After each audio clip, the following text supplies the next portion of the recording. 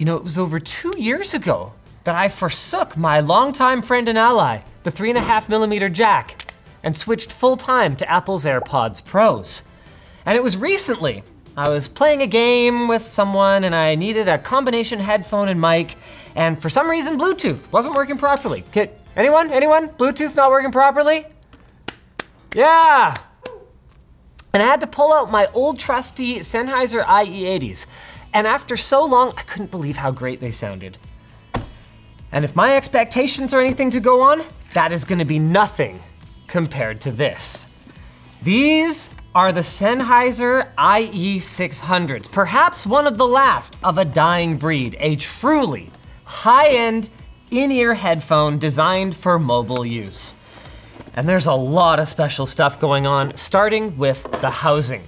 They're made of this Amloy zirconium 3D printed metal material that is apparently so exotic that one of the primary uses for it is aerospace applications. And Sennheiser says that one of the things that got them so excited about this material is the fact that it would allow them to achieve unusual geometries because there's no inherent advantage to constructing your earphone out of metal, let's say.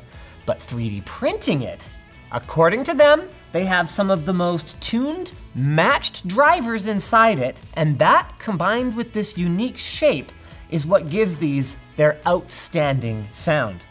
You can see they're ported on the back. Uh, that looks like, what is it, six millimeter? Hold on, I'm just guessing right now. Seven millimeter, sorry, seven millimeter drivers.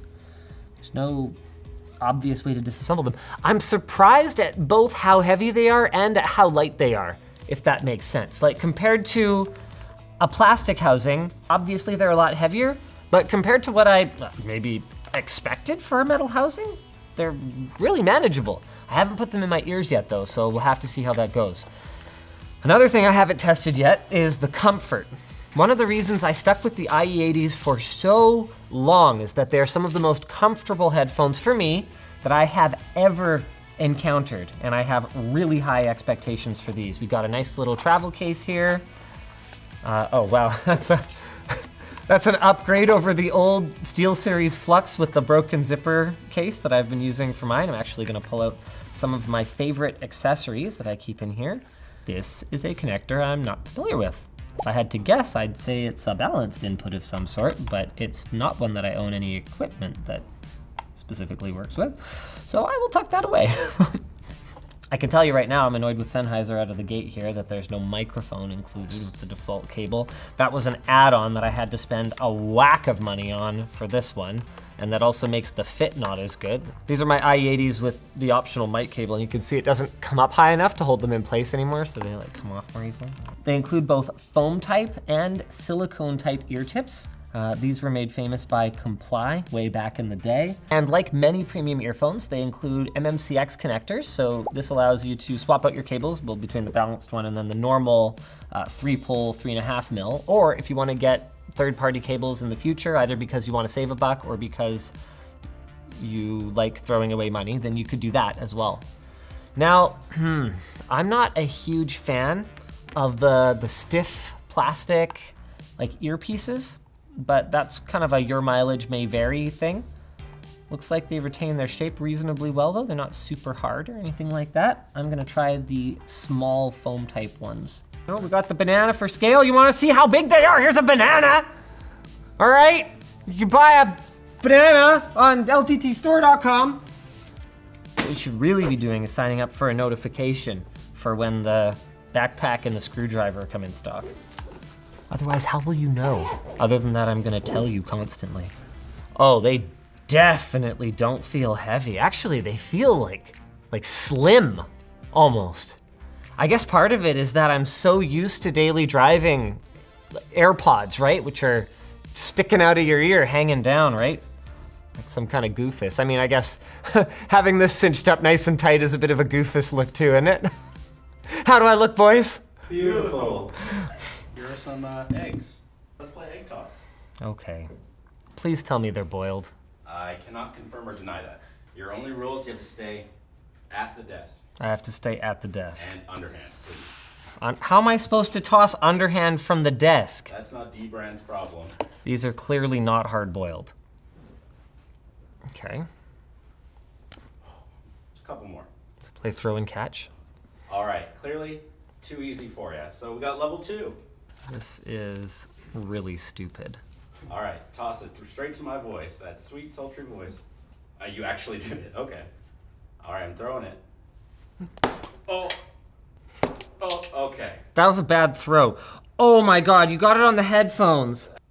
Yeah! Yes. Woo! All right. That was a great job, Linus. I got a, a letter from you from dbrand. too. Oh, no, you're, you're good. I thought you were gonna keep throwing things at me. So dbrand wanted us to throw this egg around to waste your time. Why waste your time? Because there's a discount for all dbrand products happening right now, but it ends 15 minutes from when this video was published. If you're watching this, you probably missed it. If not, use code 5foot1, uh, right there, buddy, for 15% off at dbrand.com slash shortlinus. Thanks, dbrand. Get bent. Wait a minute, they're gonna kill our retention stats on this video. dbrand, what the heck? They need to pay extra for that. yes, sir. Now, I know immediately I am going to take criticism for hooking these up to such an unworthy source as a Razer dongle attached to a mere Samsung Android phone. But I stand by that even with 600 US dollar earphones, most people are not gonna be plugging them into a, a proper source, and I wanna hear them as most people will.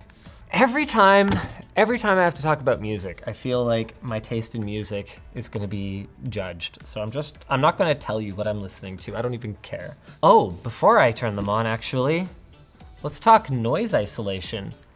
Man, now that I'm used to active noise cancellation, like, I don't know, say something to me?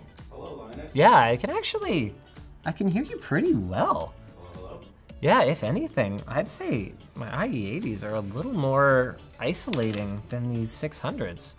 I have a really exciting announcement. We actually have one of our first full-time labs hires on now, and he's an audio guy. He's working on getting us one of those like dummy heads with the, the microphone set up for your frequency response curves and all that awesome stuff.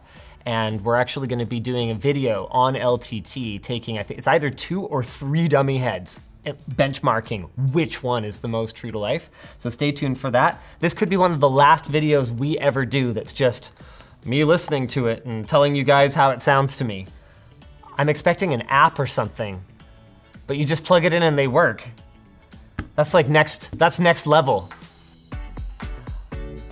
I don't know how to describe the sound other than clean. Nothing is overdone. Bass heads are gonna wanna EQ it up. But that's a good sign. If you have a nice, accurate headphone, you can play around with EQ.